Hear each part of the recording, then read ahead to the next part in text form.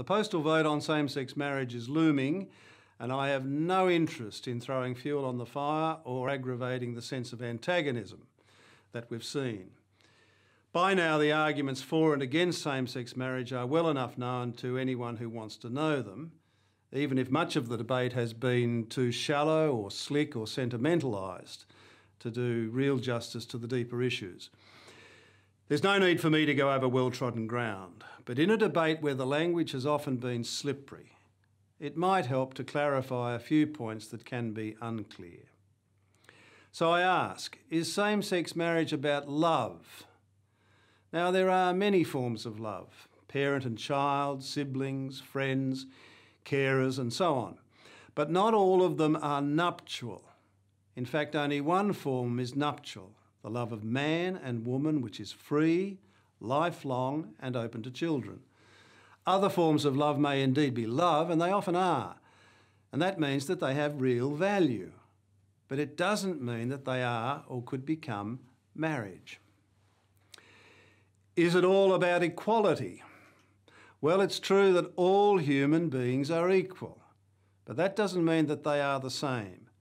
Same sex marriage ideology implies that equality means sameness, but it doesn't. I may be different, but I'm still equal. Marriage policy has almost always discriminated against certain people. Parents can't marry their children, brother and sister can't marry, those underage can't marry, nor can people of the same sex. But that doesn't make them any less equal. Is it all about civil rights? Here the link is made to women's rights and racial equality, but the law already offers ample protection for people in same sex unions in a way that certainly wasn't true of women or people of other races in earlier times.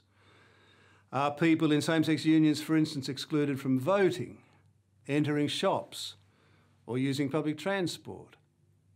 Justice can be done to people in same sex unions, and their human dignity can be respected without resorting to an artificially constructed right to marry.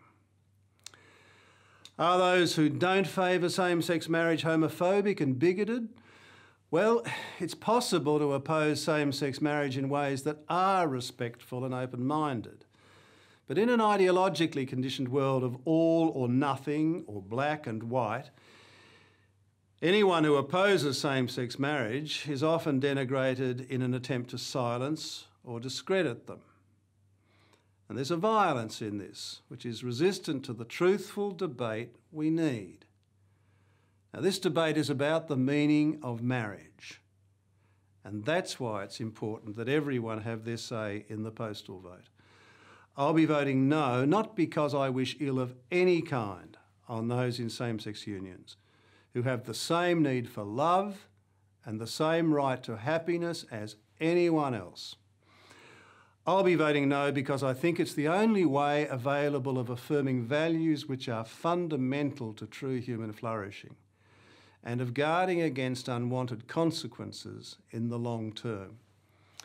A no vote may seem negative, but in a debate where things have rarely been what they seem, no is yes, and yes is no.